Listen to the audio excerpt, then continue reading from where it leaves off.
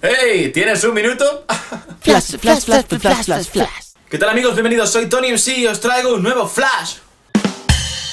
Condensar en 60 segundos la semana que hemos tenido de noticias, rumores y lanzamientos va a ser muy complicada, pero... Vamos a ello. Así que chicos, empezamos. ¡Eh, Flash!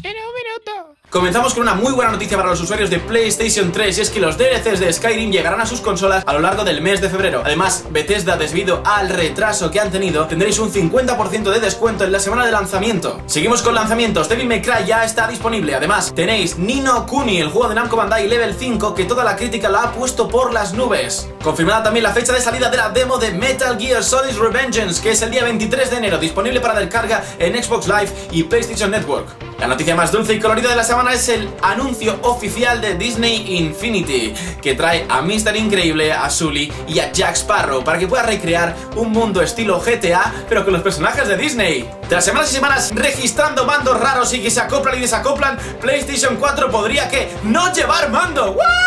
Dentro de muy poquito tendréis disponible la beta de SimCity. Se pone grande la cosa. Y para cerrar, una de las noticias más importantes es la nueva actualización de Minecraft, que está muy próxima, la 1.5, una de las más importantes. ¡Tiempo!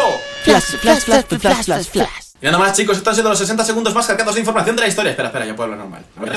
Chicos, estos han sido los 60 segundos más cargados de información de la historia del Flash Que son dos semanas, ya lo sé, pero bueno, ha estado cargado. Así que nada más, si he metido algún gambazo, que es muy probable, me lo podéis dejar en los comentarios. Eh, Los pulgares ayudan, si suscribís si no queréis morir Y nada más chicos, soy Tony MC, me podéis seguir en Twitter, en Facebook y me podéis seguir por la calle. Hasta la semana que viene, adiós